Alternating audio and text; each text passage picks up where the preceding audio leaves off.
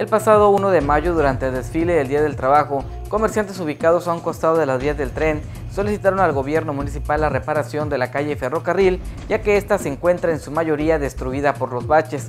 A poco más de un mes de la petición, la avenida sigue luciendo con agujeros, sobre todo a la altura del mercado Fidel Velázquez. Uno de los comerciantes del mercado, que por motivo de seguridad omitió su nombre, comentó que ya se ha hecho del conocimiento de las autoridades la necesidad de que pavimenten la avenida, pero los han ignorado. Por lo tanto, esperan que el gobierno municipal tome cartas en el asunto y tapen los baches que se encuentran en la calle, porque la situación se torna crítica y más cuando se presentan lluvias intensas. Para Mañana TV reportó Luis Orlando Sánchez.